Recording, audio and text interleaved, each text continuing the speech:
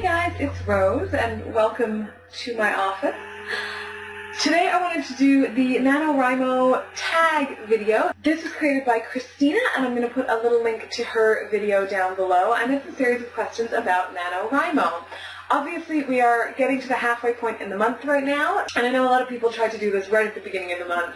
As I explained in an earlier video, I got Martian death flu at the beginning of this month and it kind of threw me off of my filming and posting schedules, so I'm sorry about that.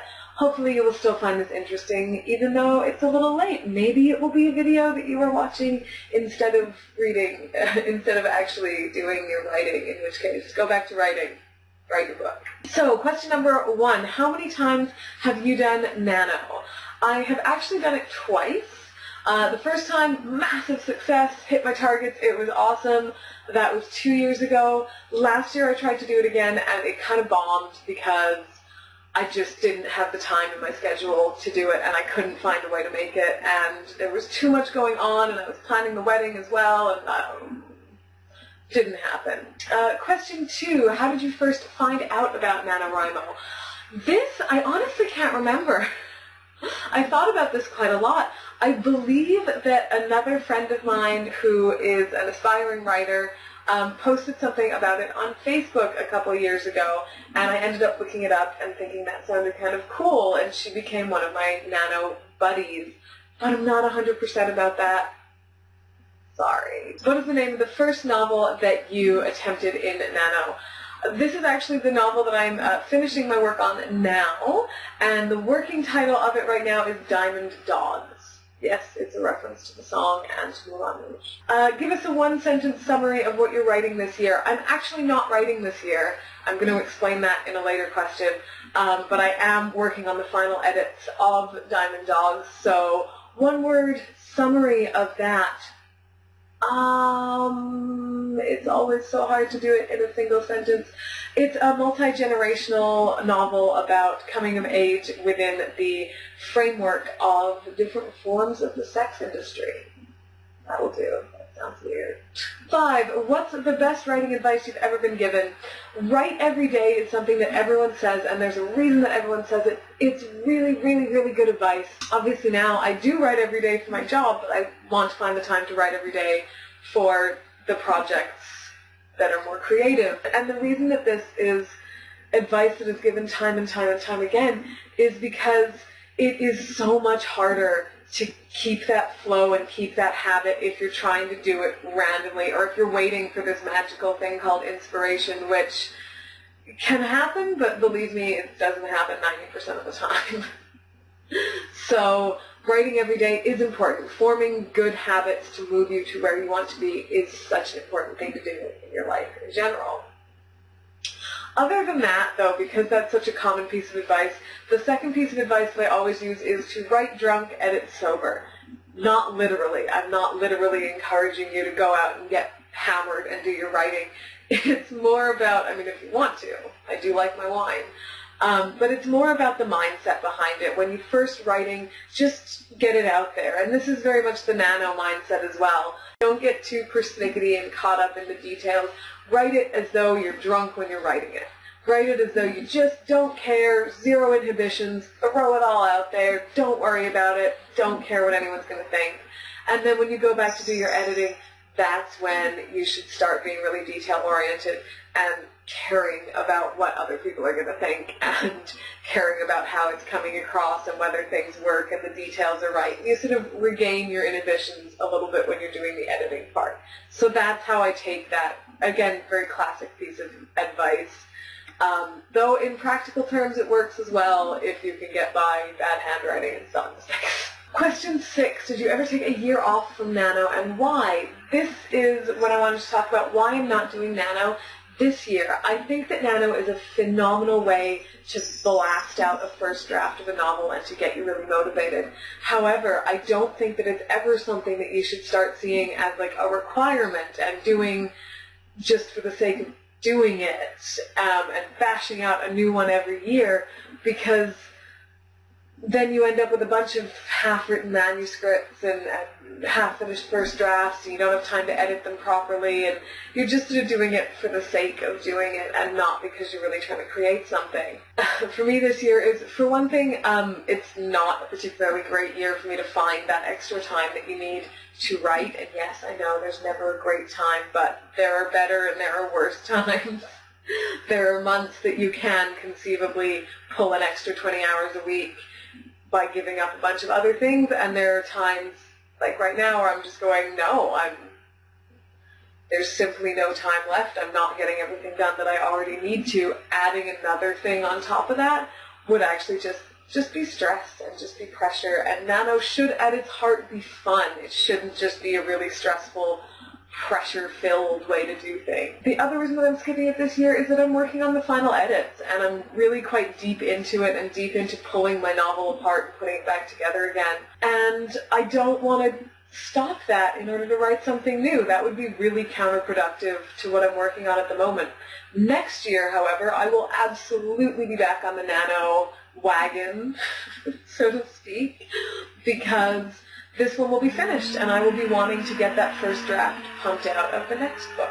Question number seven. What's the biggest inspiration when you're figuring out what to write? I find this a really difficult question because I have no idea where it comes from. I have a list of ideas as long as my arm, and I never sort of have to worry about coming up with a new one. I guess I'm very lucky in that sense. Um, and when it comes to figuring out exactly what to write when I'm sitting down and working on a novel itself, there isn't really anything external that I think I, I reach for to do that. Um, I think I reach very internally for this, for inspiration. Uh, and I just, I don't know how I do it. Um, a lot of people that I've been watching other videos of talk about music and movies and stuff that they might watch for inspiration. Personally, I cannot write with music on. I can't do it. It actually just distracts me. I find it is a huge impediment to me writing, so I write in absolute silence. Um, very, very occasionally when I'm doing editing work or going back over something, I will have classical or lyricless music in the background. Um, but that's only if I'm going back over things or if I'm adding images to blog posts and doing that kind of admin stuff. When I'm actually creating the words, I need silence absolute dead silence. So I'm in the minority of that, but I don't ever use music as inspiration. It messes with my brain. Number eight, read us the first sentence from one of your novels. Mm-hmm. Yes, it is actually printed out because I like to mark things up with pen on physical paper sometimes. I'm not a very computer organized person. I like, I have pin boards and I write things out and I will occasionally just write things on sheets of paper and be surrounded by them and I'm scribbling randomly. Some people I think just work better on physical paper sometimes and other people can do the whole thing on the computer and if you can do that, that's awesome and you probably are far more environmentally friendly than me and I'm a little bit jealous. In any case, first sentence from one of my novels, current novel, obviously. There's a girl in a blue dress crying in front of my locker. And finally, why do you love writing? This is a surprisingly difficult question. And we'll get the, the very simple, practical stuff out of the way. Obviously, I do write for a living. I write freelance. I work from home. This is my office. You are welcome. Come on in. And I do enjoy the practical aspects. I like setting my own schedule. I like working from home. I like being able to do basically what I want and not being stuck to a 9 to 5. I like being able to work until 4 in the morning one night and work a 14-hour day and then not work the next day at all if I've got other stuff on or, or bash out, you know, a quick half-hour piece because I do like to write every single day. Um, I like having unlimited holiday. I like not being confined to the cubicle farms because I have done that and it sucks. But that's not my reason for writing. Those are kind of perks on top of it, extra cherry on top stuff. Um, my reason for writing is, is that I can't honestly imagine a better thing to do. that sounds somehow horribly unimaginative and uncreative, but I've written as long as I can remember. Um, um, I learned how to read at a very young age. I cannot physically remember a time before I knew how to read, and it's always been a huge part of my life, and so writing has always been a huge part of my life as well. It's just always been something that I feel compelled to do, I think. And I think the thing is that if, for whatever reason, I couldn't make it as a job or it didn't suit me as a job or whatever, I would have to write because I, I have filled piles and piles and boxes and boxes and boxes of journals because I just, I have to write pretty much every day or I start to become a very unpleasant person to be around. I become very sort of tetchy and short-fused and generally miserable. Um, and I don't know what that is. I don't know why it is.